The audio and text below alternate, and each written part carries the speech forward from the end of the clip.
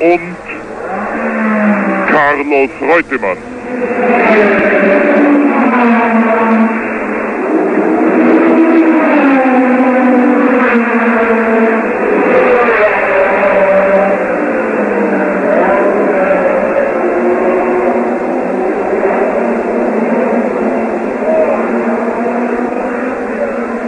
Wieder der führende Patrick Depailler, der mittlerweile auch die schnellste